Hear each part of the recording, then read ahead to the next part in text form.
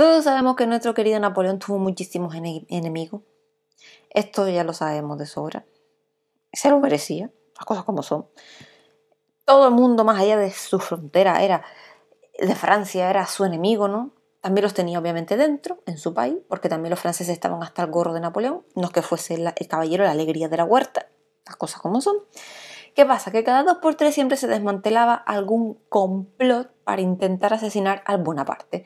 Y cuando no encontraba al pobre diablo culpable, pues había que inventárselo. A otro pobre diablo que pasaba por ahí y dijo, ah, a ti mismo, pues venga, para el pelotón de fusilamiento. Pues esto sucedió un 16 de marzo de 1804, ¿no? que en un escuadrón de gendarmes pues arrestó a Enrique de Borbón Conde, que era el duque de Enghien, y fue acusado de conspiración para asesinar a Napoleón. Claro que es verdad que cuando se lo llevaron detenido, pues este pobre diablo no sabía por dónde le venían los tiros. Y cinco días después, pues sí, ya lo supo. Los tiros le iban a venir del pelotón de fusilamiento que tenía enfrente. ¿Vale? Pero ¿qué tiene de especial la detención y la ejecución de este duque si al fin y al cabo Napoleón se cargó a tropecientos?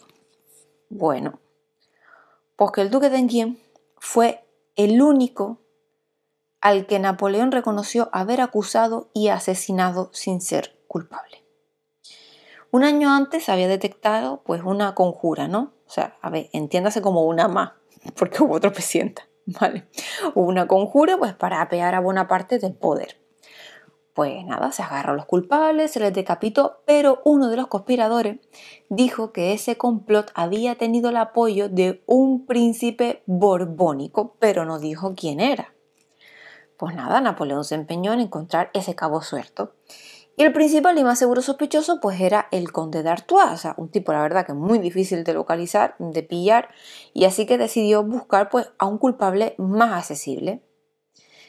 Vamos, eh, yo qué sé, esto es como perder la cartera mm, de noche ahí en la acera, pero buscarla en la de enfrente porque hay una farola.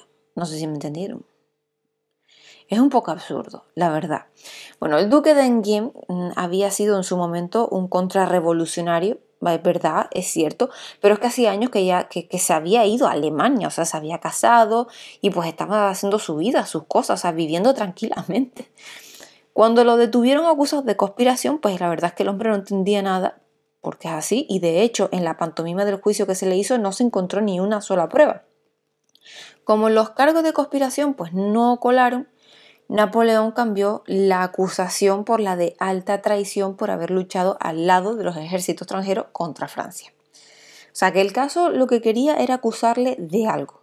Y bueno, pues nada, cinco días ya después de la detención lo fusilaron.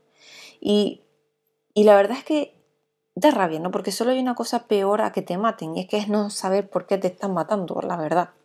Pero bueno, eh, espero que les haya gustado el vídeo de hoy y nada, nos vemos el próximo día con más. Muchas gracias a los nuevos suscriptores, un saludo, hasta luego.